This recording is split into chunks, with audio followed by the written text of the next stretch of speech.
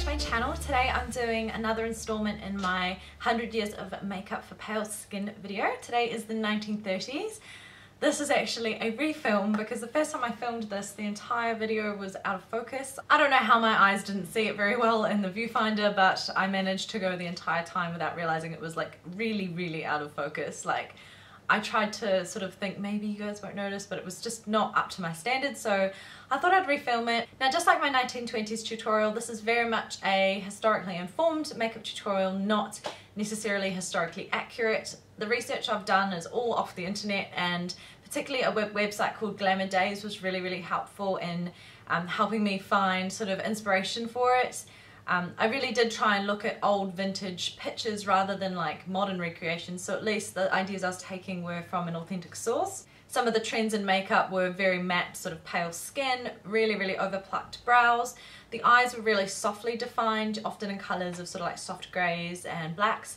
The winged liner look wasn't really big yet at all. Um, they tended to just define with shadow, um, but lashes were very prominent. And of course the bright red lip came into popularity. However, compared to the previous decade, the lips started to get a little bit softer, the cupid's bow wasn't as defined. So that's just a little bit of background info on how I came to create this look for you. I hope you enjoy the tutorial. So in the 1930s, they had very matte skin, just like the 1920s.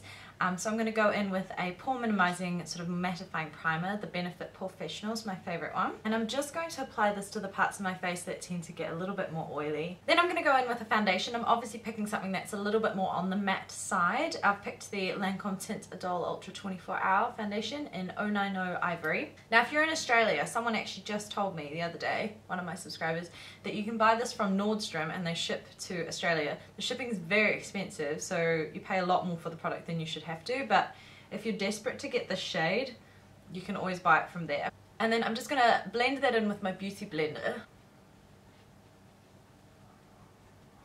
Then I'm just going to go in with a bit of concealer. I'm just using my Tarte Shape Tape in Fair Neutral. Just have a few extra little spots that need a bit of extra coverage. And I'm also applying that under my eyes as well. Just using my Beauty Blender to blend everything out.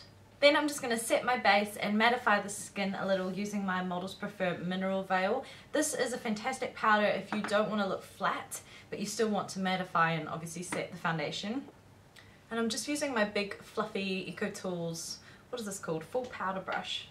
And I'm just kind of pressing it into the skin so that I don't disturb or move the product underneath.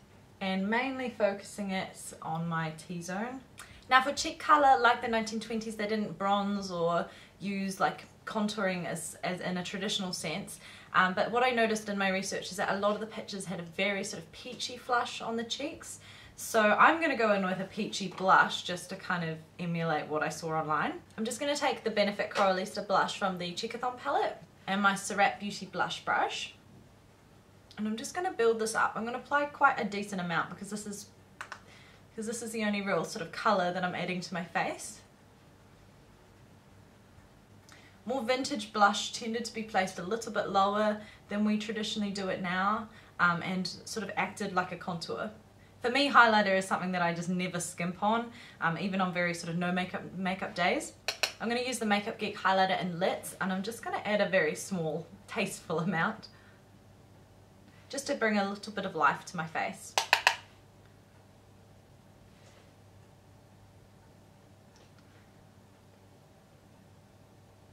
The lovely thing about this colour for me is that it almost sort of matches my skin tone but just adds a glow so it does look very natural and very believable on the skin even though it's quite foiled. Now brows in the 1930s were obviously very thin and very overplucked. Um, for the purposes of this video I'm certainly not going to overpluck my brows. I think a couple of people were a little confused in this series. It's certainly not trying to be like historically accurate these tutorials are meant to be inspired by the periods. So you take inspiration but then apply them in a modern context.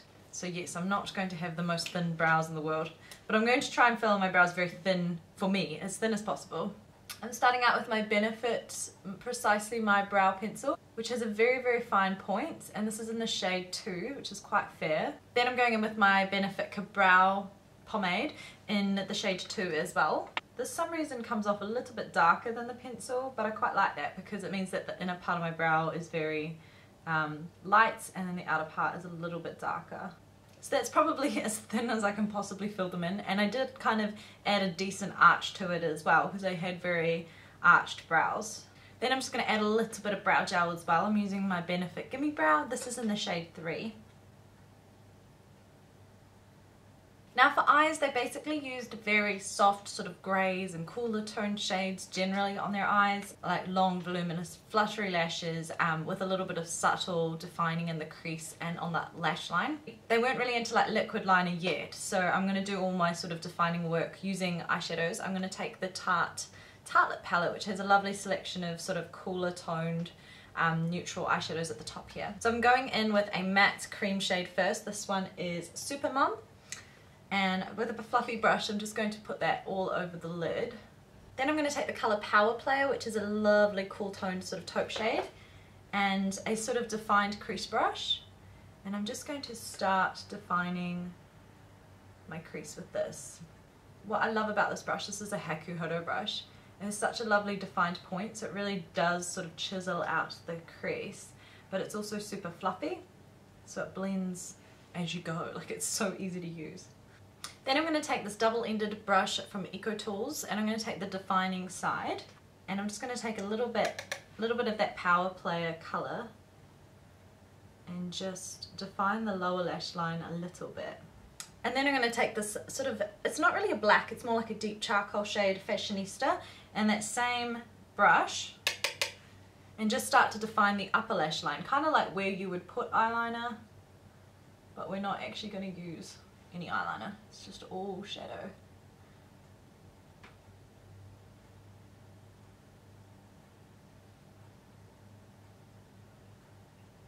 So you can see how much of a difference just adding that tiny bit of shadow to the top lash line made. I'm going to take another double-ended brush from EcoTools. I'm going to use this blend side, which is a very small, precise blending brush. And just apply a little bit more of that Power Player colour to this outer part of the crease, just a little bit more sort of direct placement.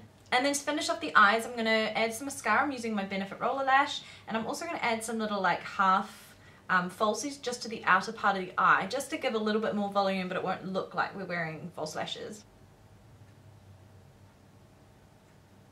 So I'm going to apply different mascara on my lower lashes just because I like to use a waterproof formula. Just grabbing the Maybelline Falsies Push Up Drama in the waterproof formula. I don't actually like this mascara but I only use it on my lower lashes. And the trick to getting a very natural looking lash on the bottom is to just apply a very small amount.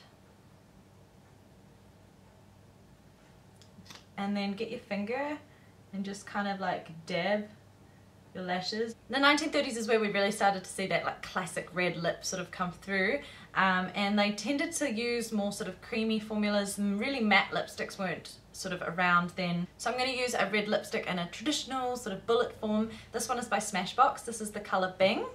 And this one is a matte formula, but it doesn't come across very matte on the lips at all. It has shea butter in it, so it really moisturizes your lips and makes them look nice and sort of plump.